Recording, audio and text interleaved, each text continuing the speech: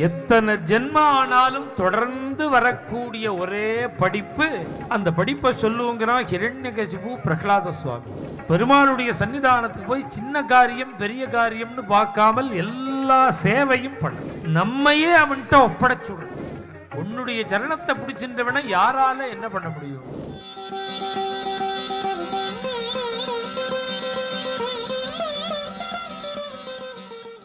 श्रवणं कीर्तनं विष्णोः स्मरणं पादसेवनम् अर्चनं वन्दनं दास्यं सख्यम् ஆத்மநிவேதனம் இவ்வளவு நாளா பள்ளிக்கூடத்துக்கு போறையே ஸ்கூலுக்கு போறையே நீ படிச்ச படிப்புல இது உத்தமமான படிப்பு உன் வாத்தியார் உனக்கு என்ன சொல்லிக் கொடுத்தார்? நீயா என்ன தெரிஞ்சுட்ட? அந்த படிப்பை சொல்லுங்கிறான் ஹிரண்யகசிபு பிரகலாத சுவாமி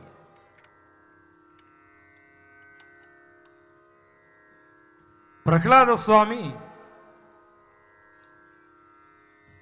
இந்த ஏபிசிடி அப்புறம் இந்த பேருக்கு பின்னாடி BCom BA MBA BE ME அப்புறம் ஆடிட்டர் அட்வொகேட்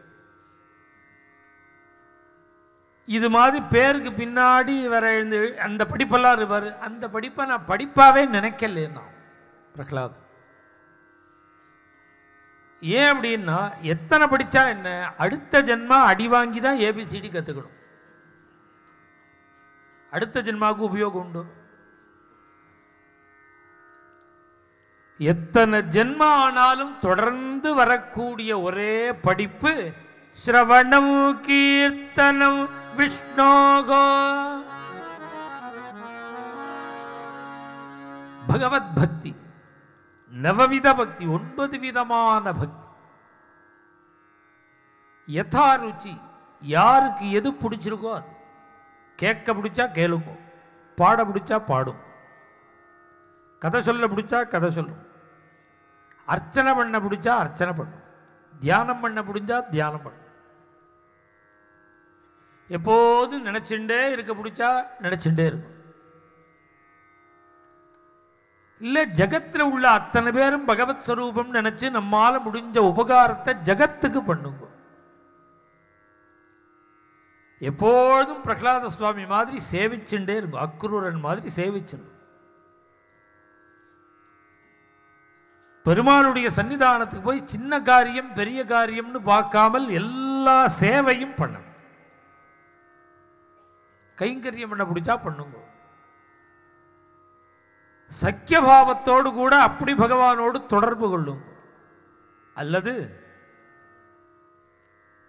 நம்மையே அவன்கிட்ட ஒப்படைச்சுடுறது தன்னுடைய ஆத்மாவையே நிவேதனம் பண்ணிவிடுறது கொடுத்துடுறது இத்திப்பும் சார்பிதா விஷ்ணு.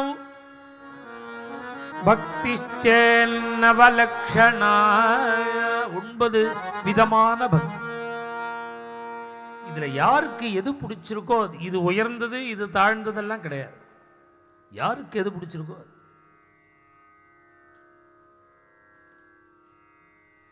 இதை கேட்டு ஹிரண்யகசிபு மகா கோபம் வந்து வேற யாராவது இதை சொல்லியிருந்தா கழுத்தை வெட்டியிருப்பேன். என் பிள்ளையா பிறந்ததுனால உன்னை மன்னிச்சேன். அந்த ஹிரண்யகஜபு பிரகலாதனுக்கு என் யோஜனை பண்ணி யோஜனை பண்ணி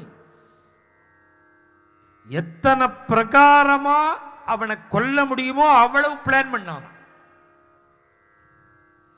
வதோபாயானஸ்மின் பாத சரணே நாராயணீயத்துல பட்டத்ரி.